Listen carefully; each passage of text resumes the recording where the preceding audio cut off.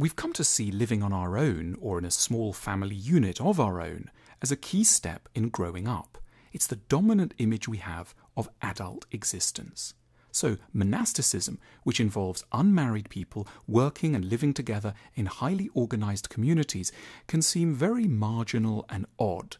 We may not have anything particularly against monasticism, but it can seem just very unusual, something that might work for a very few individuals without being relevant to the lives of most people today.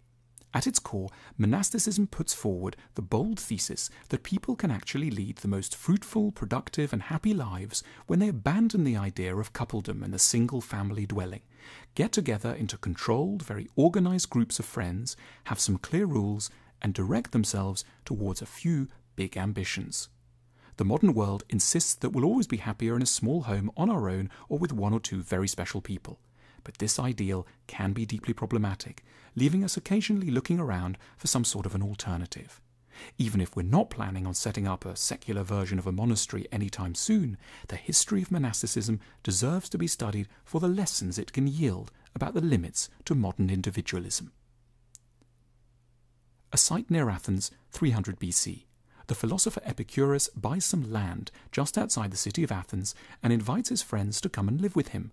It's the world's first proper commune based around philosophy. Epicurus has come to the view that we tend not to be very happy because we overrate the importance of three things romantic love, having lots of money, and the enjoyment of luxury.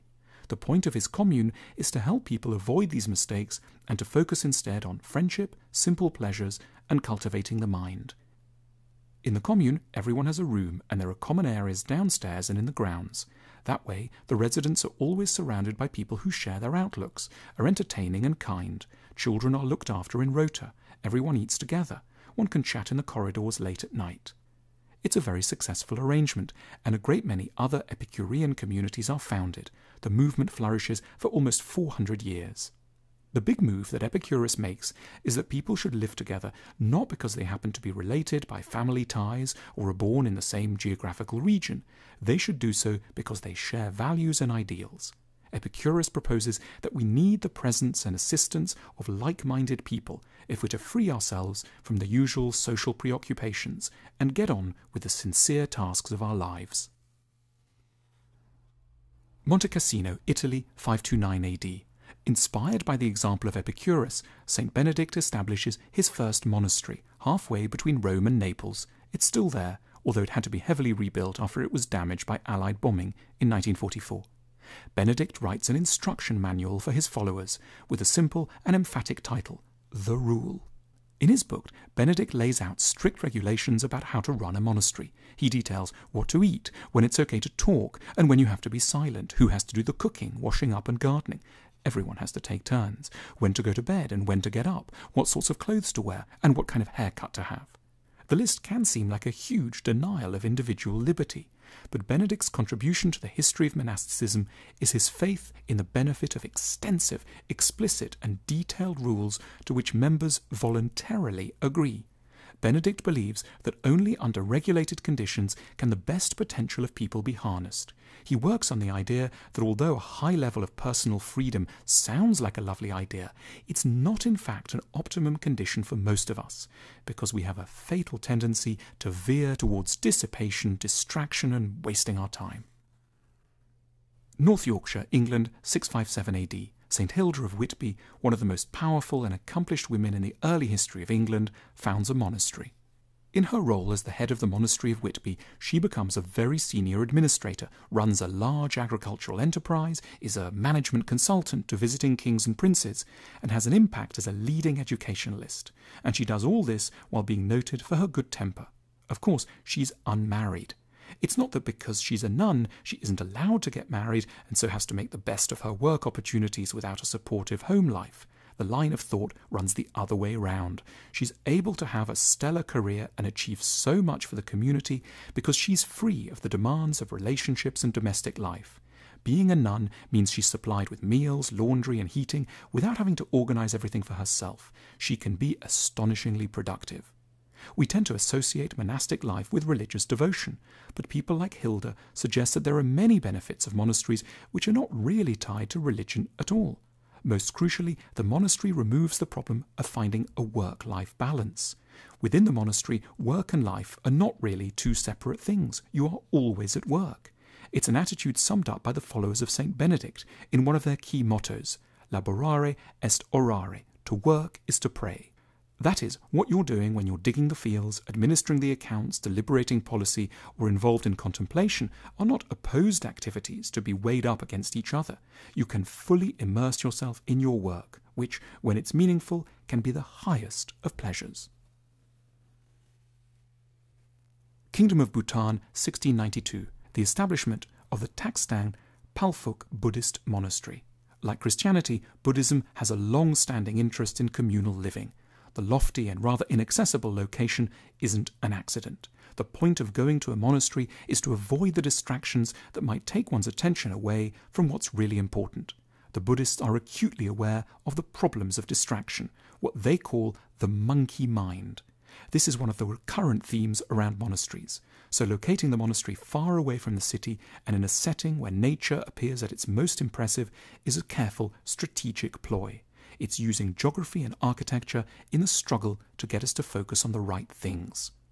Monasticism knows that human beings are pathetically prone to distraction. It's almost comically easy to get us to stop concentrating on anything serious or even a tiny bit challenging. But collectively, we've been very reluctant to take serious steps to address this mania for distraction. It's almost shocking to imagine what one might be able to do were our attention not always wandering off. Buddhism's leading figures are prepared to accept that asking for prolonged, non distracted attention means making huge and specific adjustments. That's what monasticism is for. Trinity College, Cambridge, England, October 1911. The philosopher Ludwig Wittgenstein enrolls as a student at Trinity College, Cambridge, to study under the great and eminent professor Bertrand Russell.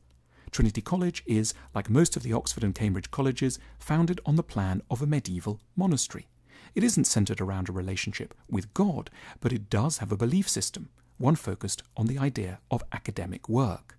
Fellows of the college, such as Russell, live a communal life and they have to be unmarried in order to be admitted inside the community. Married academics live elsewhere in Cambridge.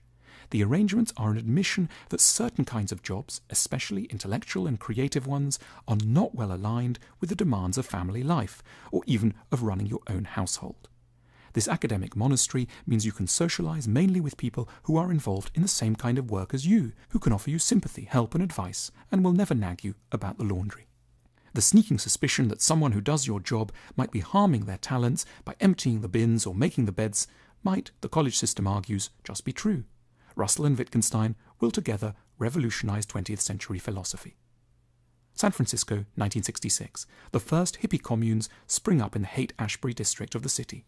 The hippies go in for a very particular style of communal living involving beards, lentils, chanting, freewheeling attitudes to sex, suspicion of technology, and dislike of tidiness.